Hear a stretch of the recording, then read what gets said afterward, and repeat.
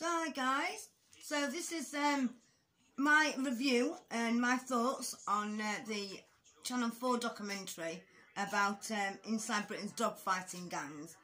Because uh, as you know, it's a sort of topic, you know, that I feel pretty strong about with, with you know, how I feel about animal cruelty. So yeah, we'll dive straight in. So, Channel 4 always seems to have sort of like the, the best documentaries, in my opinion anyway. You know, they never fail to, to grab me in and pack a punch and they're always sort of packed with like taboo subjects and stuff, aren't they? Um, and this one is, is no is no different, you know. Um, and this one is actually part of the untold section. Um, so sort of like on, on Channel 4's uh, demand, they've got um, a, a, section that says untold and it's documentaries and um, I'll just give you a few a few examples of, of what's on there. Um, Secret World of Fight Clubs, Exotic Pets, uh, Men for Sale, Life as a Male Escort, uh, OnlyFans Got Me Fired, and The Cost of Being a YouTuber. And there's, there's loads more. There's loads, you know, if you can't find something that you would enjoy on there, then I don't know. I don't know where you'd find something. Um, but anyway, it, uh, these videos um, they last for about 15 to 30 minutes. Uh, so some are quite small, uh, and so, some are like you know your, your normal your normal lengths. And um, so given the fact that, uh, like I said, a new one is is out, um, you know, on TV at the minute, uh, I thought I've definitely got to do a sort of uh, a review on that because it's something that I, I really, really, really feel strongly about. So let's um, let's dive straight in. It was quite hard for me to watch, um, even more so because of the you know the way I feel about animal cruelty, and I don't like cruelty to any animal, but dogs, dogs are like my little sort of pet hate, you know. Um, when they're having two dogs, uh, you can see Miles in the background there. Um, it's like, oh, you know. So it was quite hard to watch. Um, and um, it's a brilliant documentary though. Um, it really does get on the edge of the dark side of um, of sort of you know what what it's doing, what what it's set out to do, and this is to expose these gangs. So um, yeah, so let's let's listen. Uh, let me tell you, so you can listen and see if you want to sort of go and watch it yourselves.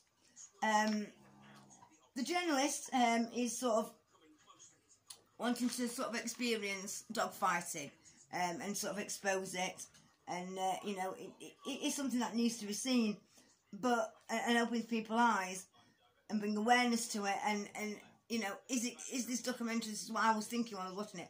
Is this documentary going to do that? Um, is it going to achieve what it set out to do and sort of you know bring it to awareness, and maybe that's going to lead to people sort of knowing to to to report it, or or is it going to sort of be a case of there's going to be people watching it who sort of want to get into it, um, and are going to end up getting into it after this after watching it because it does sort of tell you exactly what sort of money is involved in it. Uh, so I, I, I don't know. So first things first, and the first thing that's sort of said is when you realise uh, this is one of the, what one of the gang, gang members says to the journalist. Uh, when you realise there's money to be made, you'd get into it. There's more money to be made than drug dealing. So, um, there was an interview with um, uh, the RSPCA inspector, uh, and he has to keep his identity hidden due to uh, the operation that they uncovered. It, it turned out to be at that larger scale. Um, it, it sort of uh, resulted in sort of undercovering um, big big gangsters, like I say, on a massive, massive, massive scale. Um, and it span out as far as France, um, Southern Ireland, I believe, and it, it, it like I say, also it, it led to some gangsters sort of some real gangster op, op um, operations. So the safety was is first and foremost of this inspector, so that's why his identity sort of, you know, blanks out. Uh, it goes on to say that the, under, uh, the undercover uncovered a vast amount of evidence, including a video on a mobile phone, and that led to it opening massive doors, you know, to to to how big a big scale that this was on, um, and it showed fights, it showed um, dog training, to, you know, training them to, to, to be fights. It showed them on treadmills. Uh, like I said, it showed the, uh, the fights itself. It's shown equipment um, used to patch up the dogs.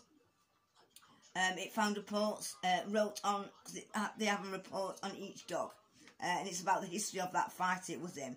Um, and it sort of found um, IV lines with needles in them that are meant for horses, and they're used for the dogs, sort of bring them round after a fight. Um, it, it stopped um, two planned uh, fights. Um, wow, it, it, fucking hell. And the winning, the totals of them them two fights if they'd gone ahead would have been eight thousand pound. Um, fucking hell, they seized nineteen dogs, which were most bull breeds. The match reports, like I said, for each fight, because uh, that's how organised this this gang is, or, or what's rather. And it said things like uh, dog one. I think I think that dog was called um, Bella, I believe. Uh, the fight lasted 25 minutes. It sustained a broken leg, if not two. Uh, lasted like uh, some some fights. It said lasted well over a minute, over you know an hour. Um, the dog actually lost the fight, but it didn't die there. It, it died further later on in time, not long after. Something to do with with some injury in its, its in his stomach. Um, I mean, this, this dog dog fighting was banned since 1835, and it's if convicted, you will face, you face up to five years in prison. I think that is nothing. I mean, I, am a member of a group in in, a, in Facebook um, regarding animal cruelty. And it, you know, it, it, brings up. I sometimes share and post them, and they don't actually do that well on it, but on TikTok, especially on Miles's page, they boom up. And uh, you know, I kind of spread awareness of them, and they all get suspended sentences. But the judge in front of them who's handed that sentence out can give them up to five years. So I, oh God, it, it just so so so gets gets me really really mad. And but still still now every day this is happening. Dog fights is happening, and it's on a massive massive rise. And since 2000, um, sorry, since 2020, there's been 2,000 reports of it. Um, he also goes and meets some males um, with what um, refers to as the rhinoceros dog. He says he refers to this dog as a rhinoceros. It's like absolutely fucking massive. And he says to me, "What the hell do you feed it on?" And I never. I'm so grateful that there is a fence right here. You know, it, it's huge. Um, and he goes on to sort of meet this this dog training trainer, um, and he says, uh, the trainer says to him, um, you get about four or five days notice before a fight is happening, and that's when you know you've got the time. you've got to sort of get it ready. So in the four to five days, you've got to get it fight ready. Uh, obviously, it's been trained to be a fighting dog, um, you know, with this trainer, but it sort of goes for a little bit of a more intense, intense sort of four days, really. Um, sometimes, that's right, the trainer said they starve the dog because it looks better that one that one kind of went over my head. It's a fucking stupid reason if you ask me. Um, but they go on to tell him that the, the bets can be anything from a thousand to eighty thousand pound. Um, with anything from ten to hundred people there, so you do the fucking maths on that one. Uh, the trainer says uh, that they love all their dogs. Funny way of fucking showing it. I mean, love all the dogs. I don't think they love them like I love Miles and you love your dog who's sat next to you now. Um, when I sort of how many dogs the trainer had, had lost Excuse me. uh, the answer was 50.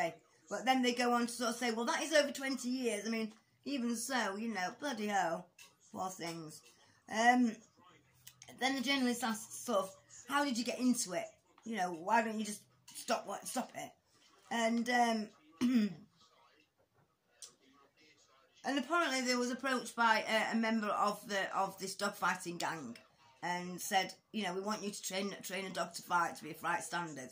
And apparently, this gang, um, they believed that the dog, they wanted the dog trained on a level up to bite people, um, and that's they believed that that way, if it could do that, attack people, it would win win its fight.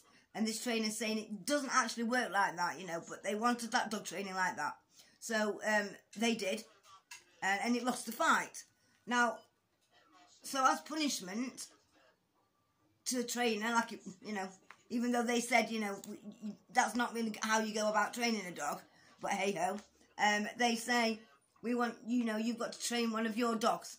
So they they got this dog that they had sort of for years. It was like a family pet. Uh, I can't remember its name. It does actually say, but anyway, they had as punishment they had to train that dog to fight for them to prove themselves that they could actually train dogs to a fighting standard. It's fucking bizarre, and all the dogs that they've lost are, are buried on this on the trainer's land. You know, funny way of showing love, though, isn't it? It's uh, very very funny, and the identity of this of this trainer is is again sort of hidden, not in a blurred out way, but they've got all black on and a balaclava. And believe this or believe this not, it is a woman. It's a woman. Which, obviously, women can be dog trainers, I get that. But there's so, there's so sort of distancing that, that, that this, this person is doing from him, you know, and like, yeah, just, just leading dogs in to die, you know, knowing that yeah, just wouldn't kind of expect it from a woman, would you really? Um, and then the journalist goes on to uh, meet an organiser, and um, that's that's his role within the sort of organisation of dog fights. And uh, he says, you know, what does your family know you do this? And he sort of like laughs nervously and sort of edges about a little bit, and uh, he, he, says that they don't know. And then he's it, and he asks him, "What would your family say?" And and again he sort of shuffles around, laughs nervously, and says that they wouldn't like it, basically. I mean, nobody sort of wants to see their son or daughter in this fucking... In, in that, short. surely they don't. Anyway, surely they don't. And um, something that I found out through this documentary as well, there's sort of a new way now what they're using dog fights for. And that's um, they're settling scores on the street. So it's like, if, um, you know, some rival, you've got beef with a rival gang. Instead of sort of going out and like taking it out on each other, uh, stabbing each other or, you know, whatever. They're um, fighting the dogs. So one gang's dog and the rival gang's dog, they, they you know, you organise a, a meet where you let they two dogs fight it out basically to the death, um, or or till it's you know it can't fight anymore basically. Um, it's like an extreme version of fucking boxing. It, it's it's absolutely horrendous dog fighting. It really is. I don't know if any of you've been to any. But believe me, it's terrible. It's terrible. Um, and uh, yeah, so he goes and, and meets this, this kid who takes him to where it's like a high rise flat in London. And um, apparently, even though it's a high rise flat, it's in quite a nicest part of London. And um, it's done in like the basement. And you see like a, a blue door, council painted blue door with a key in it. And you see basically um, the young lad, because uh, he's already previously told him that the reason he's there is because some rival gang, the, the, rival gang whose dog is going to be fighting, um, he says that he owes him money for drugs or something, and, and this guy says, uh, basically, I'm not fucking paying it, so we've arranged for, uh, you know, two dogs to fight. And this this dog is called Ghost, what this, this young lad's got. And it's, uh, it's a bull breed again. Lovely colour. It's like a bluey, silvery grey colour. It's gorgeous such, you know, I'm not saying, It, obviously it will be, it's going to have already had a bit of tough luck, but the coat on it is so shiny. Um, you know, it's not an old dog, it's, it's, it's a youngish dog. And, you know, it, it's sat there and it's holding it by the collar outside this, this room. And, God, the dog is, knows what's going to happen. Um, because it starts crying, whimpering, you know, making it very clear, very clear to anybody who's listening that he does not want to go into this room and fight this dog. You know, he's probably never had a fight in his life. I mean, he's probably had, you know, like, you know, we all take his dogs out, don't we? And, and they all, like, you know, definitely never had a fight in his life. So, you see, it, obviously with it being illegal, um, we can't show sort of dog fighting on TV. So, the, uh, you know, the journalist and the, um, camera crew wait outside. So about six minutes later, he said it was. Um, the journalist is allowed in, and he takes the camera in with him, and you know, and they film around, and there's, blood all over the floor, and All, all, the, all the people have gone and the dogs have gone. And obviously, one's either dead or extremely injured, who, whoever's dog it is. Um, so then he sort of comes out and uh, you see uh, Ghost and his owner sort of on the stairs and uh, making their way out of, of the of the building. And the, the guy, the young lad, is having to carry his dog. He tries to put it down, see if it'll walk once he gets out of the building, but he, it can't. Um, and yeah, it's very, very, very badly in- injured. And the young lad even turns around to Janice and says, "Can you stop, stop following us now?" So they go and I don't know, maybe put him in the car, I don't know, but but then it goes to a shot where he's talking to to the lad. He hasn't got the dog anymore, but he's talking to the lad. And uh, you know, he said that didn't you know stood their own when you know try and gave as good as it, as it could, you know, um, but Ghost sadly lost. And Christ, it is it's it's mad. I don't. And the way what he's saying is, you know, is it better that we sort of have two dogs fight and one gets injured or dies? Or what's the alternative? The alternative is two two people are going to sort of fight it out. Two rival gangs are going to go head to head, human to human, person to person. You know, and potentially they're going to have a very injured another young lad or or a dead young lad. It's a fucking hard one, isn't it? It's, it's, it's a hard one. It really, it really is. It really is. And, and, and it's, it's, like I say, it's terrible to watch. Extremely terrible to watch. Um, but it's something that kind of needs sort of, needs telling, really. And we need to sort of bring, yeah, we do. We need, we need to try and end stupidity, stupidity like this. You know, and, and their attitude of some of the guys, you know, are, are obviously like, you know, they were born to fight, you know, that's what they're raised for. Um, but uh, what does this guy say? His final words basically, uh, it makes sense to us and it saved a potential death, um, or, or, you know, death of a young lad's life, which is a lot better, surely. Um, he says, and he'll go and get another dog, and if that dog can't do its job, then it'll end up in the same fate. Um, you don't find out what actually happened to Ghost, but I imagine, I imagine the dog died. To, to be fair, with with its with its injuries and the fact that it fucking couldn't fucking walk.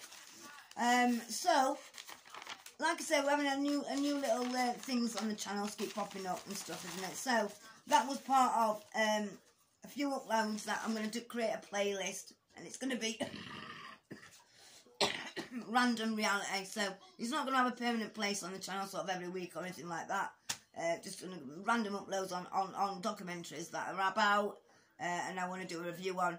If anybody wants me uh, wants to do hear my opinion on a documentary, then just pop the name down in the comments and um, I'll, I'll do one. Or if you just think I should just watch one, because I'm always looking for new documentaries.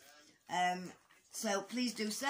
Please like, subscribe, and uh, share me uh, come on, get get. You know, I'm not a bad person. You know, we've all made mistakes. Um, yeah, just subscribe. Say that subscribe. It doesn't make any difference to you, but it really does to me. Thank you.